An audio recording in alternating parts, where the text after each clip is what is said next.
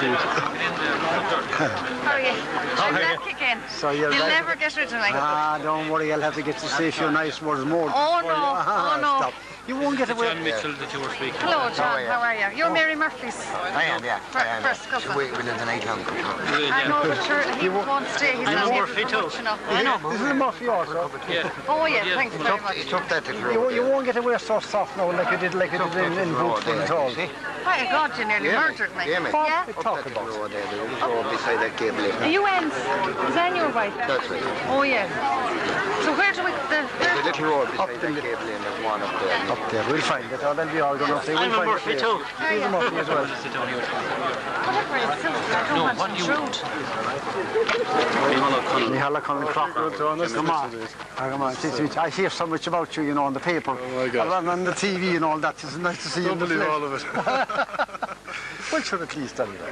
Well, it's nice to Oh, meet you. That's my pleasure. Are you with RT here in, in Galway? No, no, we'd make a video, Richard Murphy, Rap and Ryan, myself. Oh, I see. Oh, You're from good. No, we're not from RTE at all. What do I do with that girl's soul? Uh, Somebody said to me that you- you're, you're with RT. no, no, no, we are not with them at all. Oh, you make a, you make private videos? Yes, we do the various Yeah. more historic things. We, we were in Woodford already. you know. Oh, early today. oh, yes, we oh my God, you'll be busy day. Sean MacBride and talking into this with you. Very that's- good, yes. No, we'll have, we'll have to get you. Hey, hey, we on there? We are. Yes, yes. You have to say a few words to me, Roger Batten.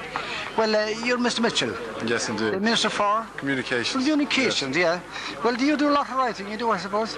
Well, I do, I do a lot of reading. I'm not sure writing. I Yeah. very cryptic uh, orders on, on memoranda that come up to me all the time. Yeah. You get somebody else to do the writing, like. I get all the civil servants to do the writing. Yes. Well, it's just no harm to get them to do something. Exactly.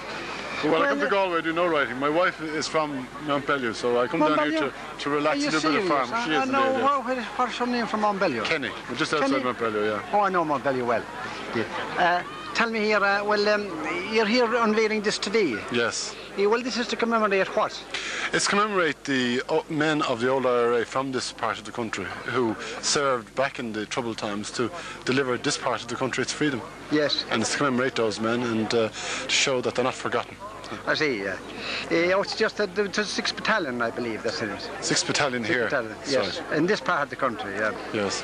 Well, it's lovely to have something like that to commemorate them. Well, I think it's very important that we should remember those who did things for us in the past. And it's it's so easy to forget, but I think it is important that we do remember and that we are always uh, pre- prepared to say The thanks. past, we're coming on a bit.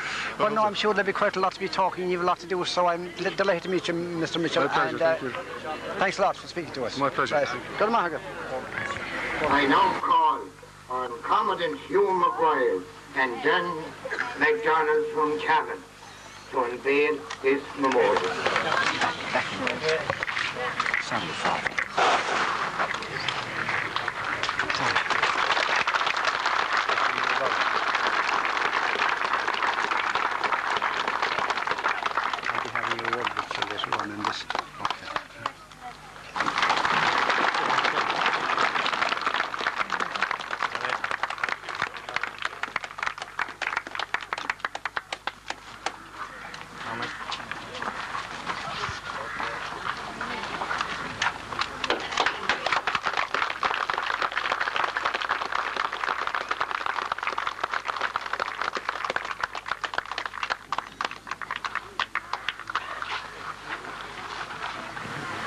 Uh, there are people who realize that ideals have to be maintained and that the task of freeing and uniting the whole country is still a task to be achieved.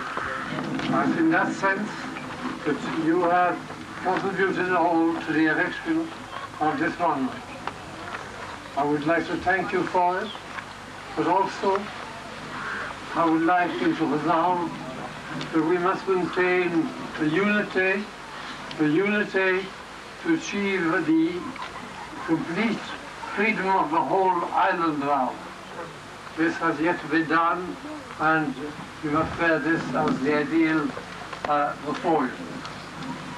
Uh, as I told you before, and, uh, every human being has an ideal and a soul, but a country that loses its ideal, its ideal of nationality, this ideal of standards, uh, is a little bit like a human being that has lost his soul.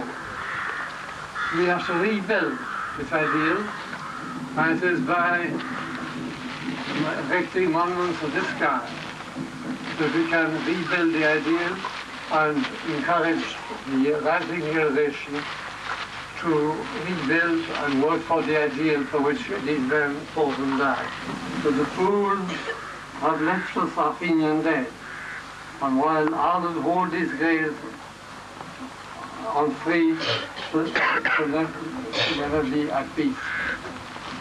So, uh, great honor in uh, thanking you again for having taken this initiative and the to you to rally around to the ideals of the you're honoring today. Thank you very much.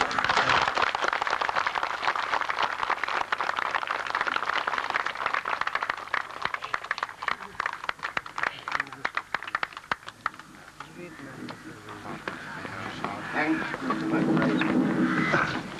I now call on Mr. Jim Mitchell, Minister for Communications, representing the government, you.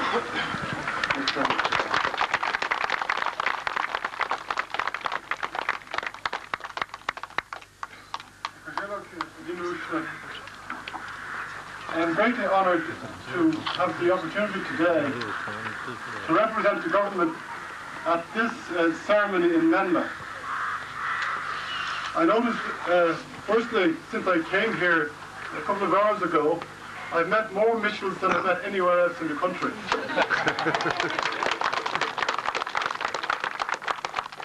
look at this, uh, this tremendous memorial, and I see among those with honoured today is the name, the name of James Mitchell.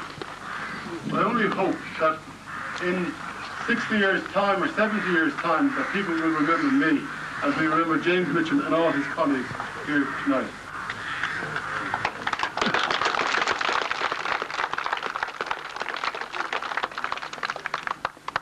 Most countries have clear and definite ways of saying thank you to those who serve it well. In this country, we don't have very many tangible ways of saying thank you. One of our previous and very distinguished speakers here tonight, Mr. Sean MacBride, has been rightly honoured uh, by the Nobel Institute and with the Lenin Peace Prize.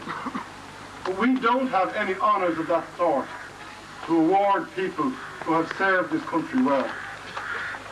And therefore it behoves us to remember all the more to say thank you. And in the sense we're here today, almost uh, 70 years after the foundation of the Menlough Battalion of the old IRA, to say thank you to men who were prepared to fight for the freedom of this country.